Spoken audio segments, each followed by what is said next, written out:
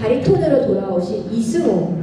근데 제가 오늘 여, 여쭤봤어요. 이승호 선생님 혹시 몇 학번이세요? 상상할 수 없는 학번이에요. 너무 기뻤어요, 학교에서.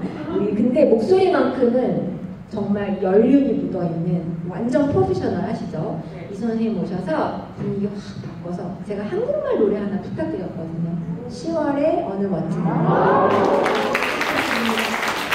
네, 안녕하세요. 바리톤 이승호입니다. 아, 이승호 세대들입니다.